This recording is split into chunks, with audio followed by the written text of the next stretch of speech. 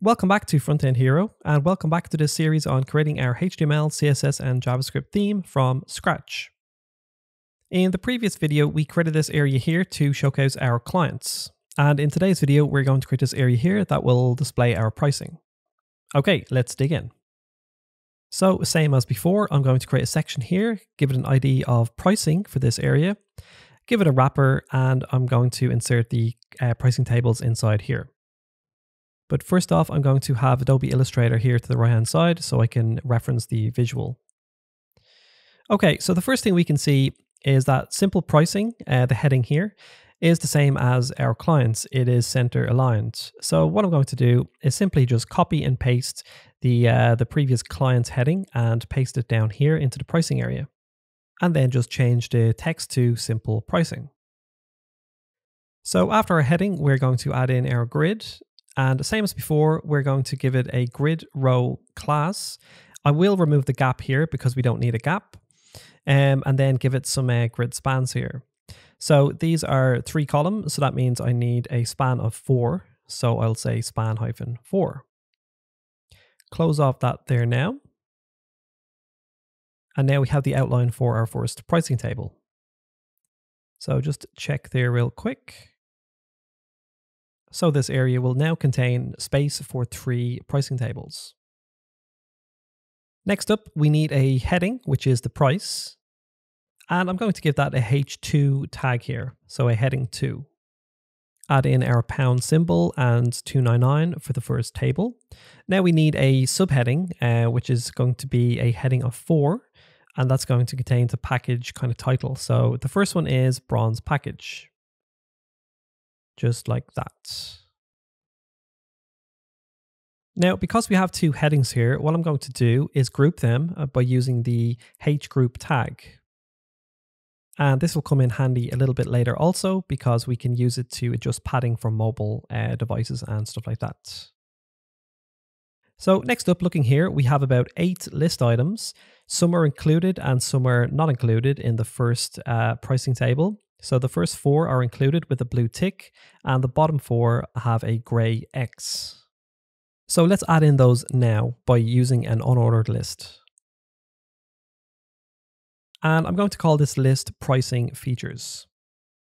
So what I'll do now is just populate these uh, list items now with the following uh, lorem ipsum.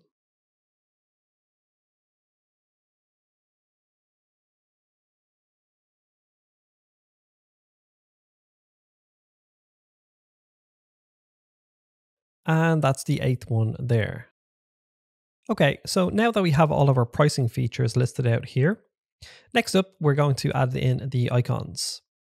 Now, unfortunately, we can't utilize the Themify library because the icons don't really suit this project.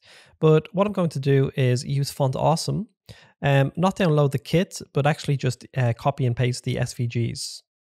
So the first icon I'm going to look for is the tick. And that one looks good right there. So all I'm going to do is just copy the SVG and paste it in to our features.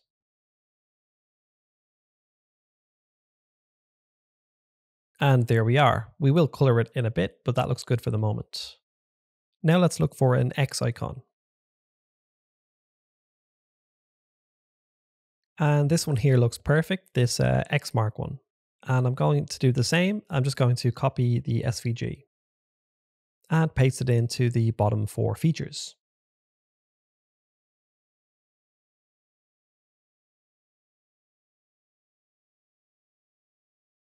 Okay, so now we have two icons to illustrate what's available in each package and what is unavailable. And the last thing in each pricing table is a learn more button. So let's pop that in now and we can go back then and play with the colors and font sizes and padding of our table. So to create a button, we're just going to use the btn class, pop in learn more, and that looks good. Now we can see in the visual that these buttons here have an arrow, but luckily we created this in a previous video and we have a class called btn with arrow. So I'll just add this class in now. And now our button contains a nice little arrow. And that is our pricing table complete. So we have a heading, subheading, um, our list features, our icons, and a button to learn more about that particular package. So all I'm going to do now is copy and paste this pricing table and repeat it two more times. Oh, one thing I need to change here is the class called our client, uh, copied and paste from a previous uh, code block. And I'll rename this to pricing table.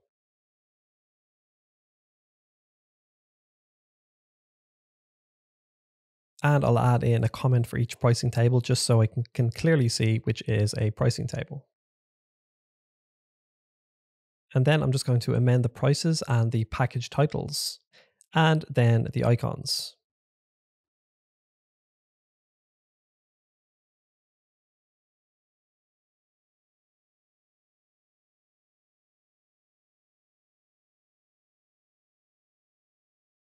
And now we have our three packages, our bronze, silver, and gold. Now let's clean it up a bit. So I'm going to go back up to the table of contents here in our CSS file, and I'll just create a new area called block forward slash pricing. And that is number 13. So down at the very bottom, just after our clients, we're going to add this block in here now. And the first thing we'll do is target the section called pricing. Give it a red border as per usual. And now all I'm going to do is basically, as per the visual, I'm going to give each pricing table um, that blue border, which is the secondary color, I believe. So give it a top border. Uh, give it a bottom border.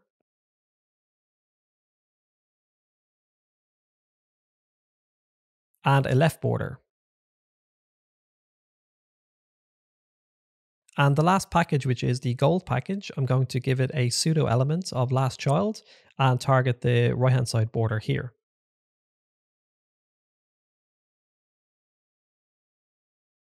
And now our pricing table is beginning to look a little bit like our visual.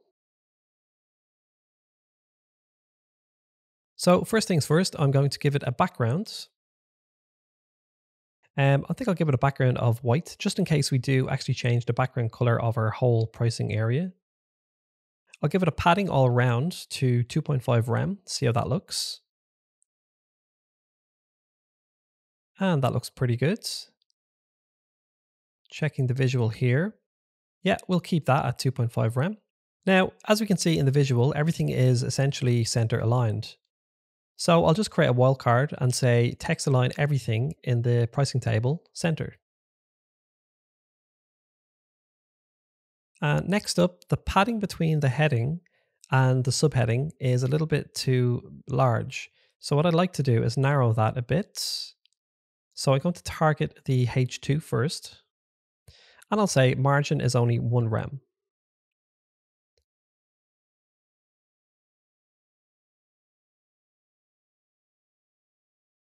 So we can see the difference there. So it just tightens things up a bit. And give it that color of secondary color, which is the secondary color of blue.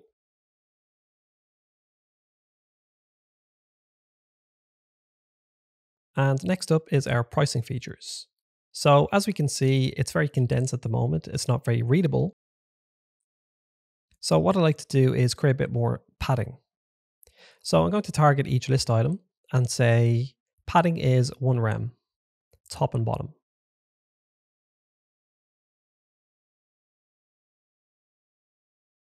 And that looks miles better. So zooming in a bit here to have a look at the icons, we can see that they're not exactly lined up. But we can use our old friend display flex to automatically do that. Unfortunately, that creates a side effect of left aligning our text but we can fix that in a moment. So what I'm going to do to combat this issue of text uh, left aligning is to say on the list item, justify content center. And that fixes our issue quite nicely there now. Now, another thing I can see is the icon is extremely close to the text. So next up, I'm going to target the icon, which is an SVG. And then I'll just give it a height and width. And then say margin right is probably about one rem. And that looks bags better. And again, it's starting to look a lot better now. It's more readable and there's more space. And next up, we need to change the color of the icon. So first off, I'm going to change the color globally for all of these uh, icons to blue. So fill var secondary color. And now I'm going to need a way to differentiate the included features from the non-included features. So I think what I will do is to create a class called no feature. So I'm just going to add this no feature class to the list items that are not included in our pricing packages. So let me add in these now and I'll fast forward this bit.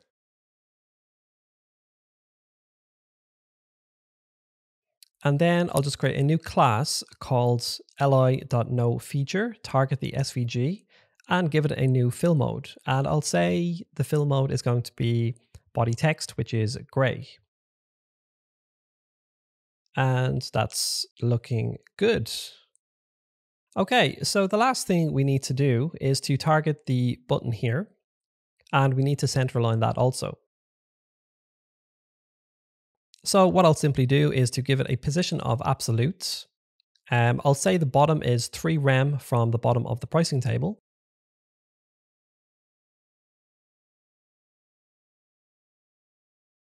And I probably need to give the pricing table a position of relative.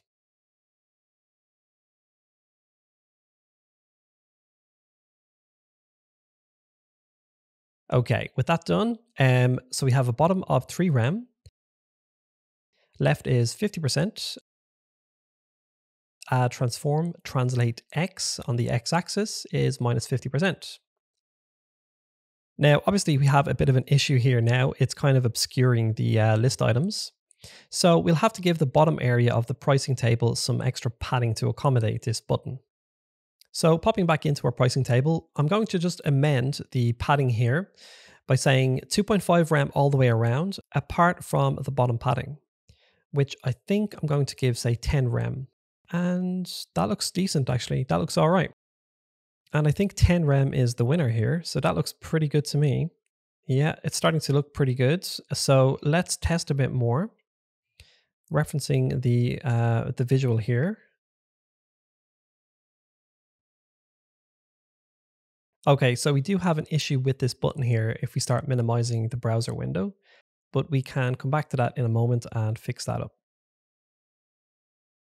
For the moment, I'm just going to create some media queries to start targeting the mobile kind of uh, view. So what I'm going to do is to target the media query size of 850 pixels as the design starts to look a little bit crushed at this point. And then all I'm going to do is start stacking each um, pricing table. So I'm going to give it a grid column span of 12.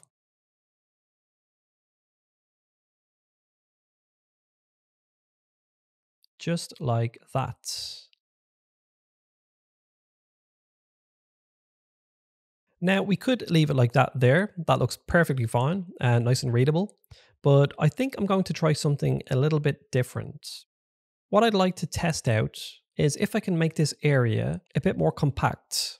So the headings to the left, all of the list items on a row, and then we can just scroll along and see all the features and maybe the button can be up at the top right hand side. So please bear with me. I think I'm going to go down this route and see if I can accomplish this. The very first thing I need to do is to remove the padding from this pricing table. And then with the padding removed, I'm going to change the color of the border to primary color blue.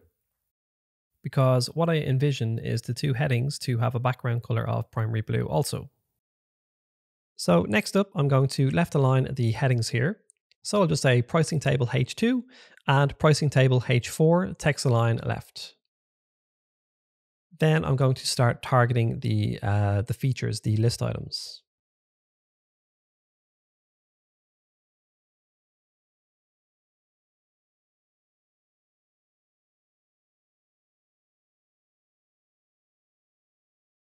So I'll say, um, because we're using flex, I'll say justify content left.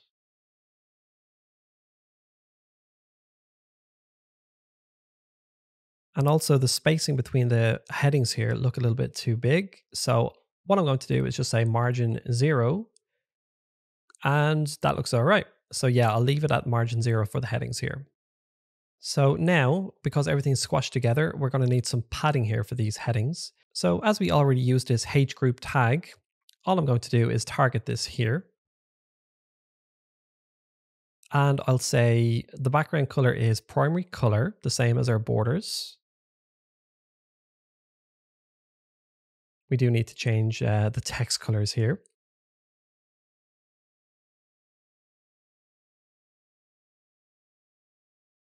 So I'm going to say the H4 is a color of white. Um, and the price color remains the same. Now let's give this H group a padding of 1.5 rem. Yep, I think it's starting to look actually okay. So next up, what I'm going to do is probably pop all of these list items on one row.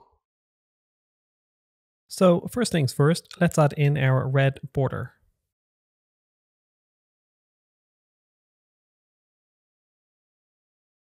Now, a few ways to do this, but what I think I'm going to do is um, is use the grid. So I'm going to say for the pricing features for our unordered list, I'll say display grid and give it a grid template columns value of eight um, values, which is our eight features, and say each um, each section is going to be 150 pixels.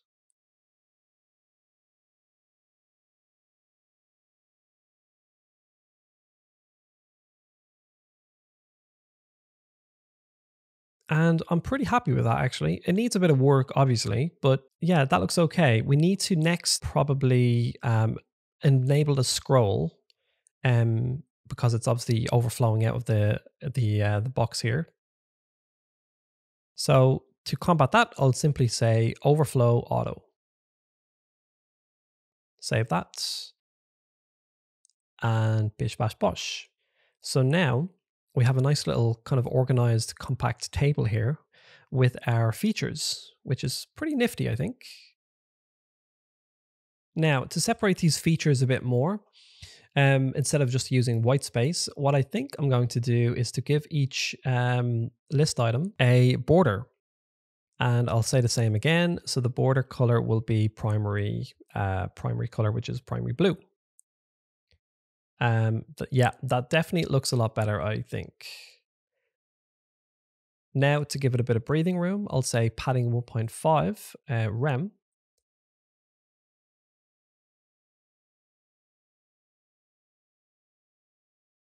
And we are definitely getting there.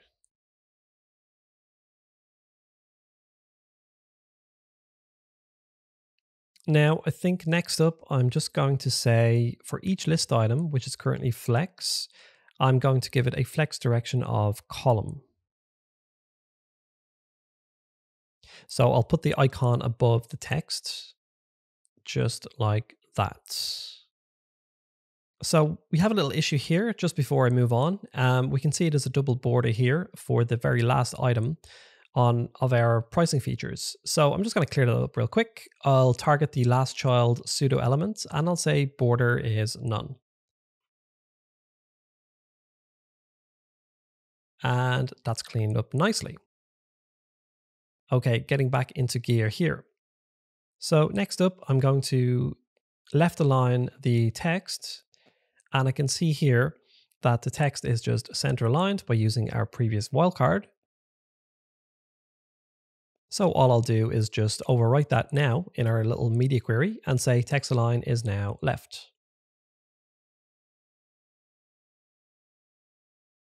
Perfect. Okay, zooming out a bit and let's have a look what we got. Um, so our icon needs a bit of space, uh, I do believe. So I'll say for the SVG or the icon, I'll say margin bottom is one rem. Yep, we are getting there. Okay, next up, we can see that the text is a little bit squashed. So what I'll say is I'll give it a line height of the list item, and I'll say the line height is 3 rem, which is way too big. Okay, maybe 2 rem. Uh, yeah, that looks okay. So I think we'll leave it at 2 rem. Um, okay, so now we can see uh, this button here is kind of taking over the show here. Um, as I say, I'd like this button to appear on the top right hand side. So I'll target this here now in the CSS. And first off, I'll say top is zero. Let's have a look at our previous uh, rule set here. So I'll copy and paste these here now so we know what we've got. Paste them in. Okay, so position absolute, we don't need that. That's redundant. Um, bottom is auto.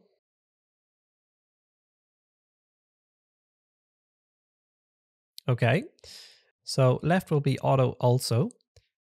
And then we don't need this transform rule anymore. So I'll say transform none.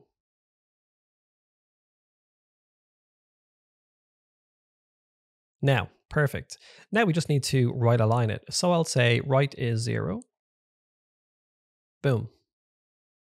Okay, now let's give it some breathing room. So I'll say um, right is 2 rem. Okay, and now let's uh, align it from the top. And I'll say maybe 10 or 11%. Yeah, that looks pretty good. Now, um, I think what I'd like to do is to remove the text here, this learn more text, and to just include the arrow for the button. I think that could look quite nice. Um, what I'm going to do first is say text indent is minus 9999 pixels. And if you're a coder from way back in the day, uh, we actually used to use this little technique here for SEO reasons. Uh, I won't go into it in too much detail here, but um, this takes me back a little bit.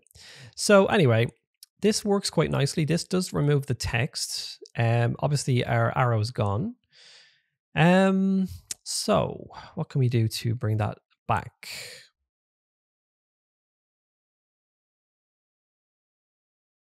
Let's target the pseudo element here, which is the after element.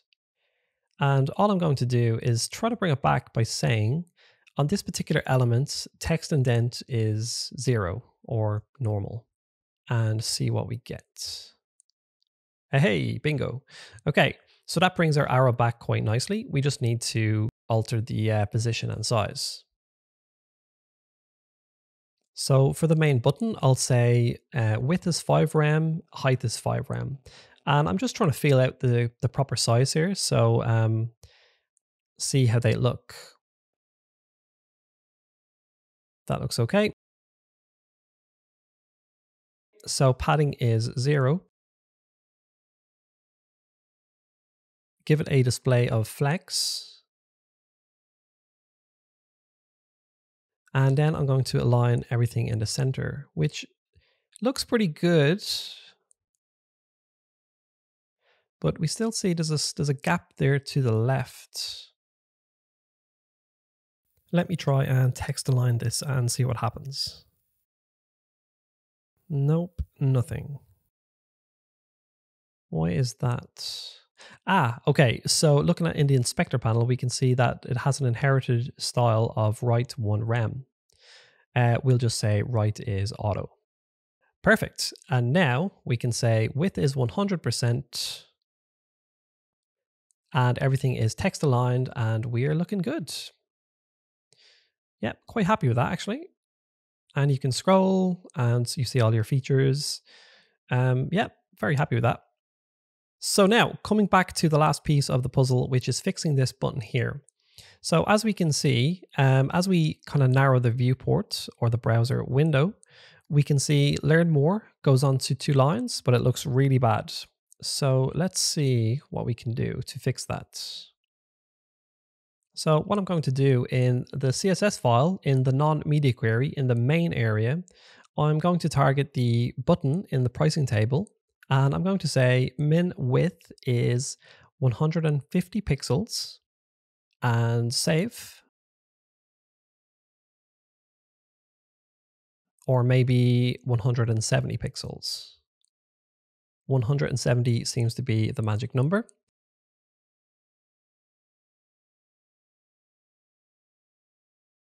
And now as we minimize the viewport, we can see that the button still looks pretty good as we go down to mobile. So I'm happy with that. But now we see one last little issue.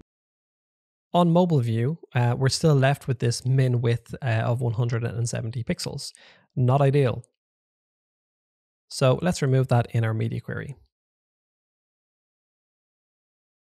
And all I'll say is min width is auto.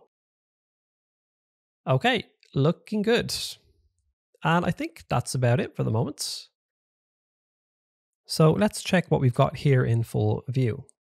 So yeah, it's starting to look and feel like a proper website.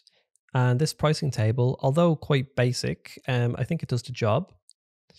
We can see what's on offer, what's on available.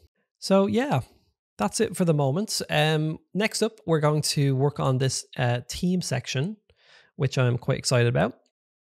But yeah, that's for the next video. Thanks very much and catch you guys then.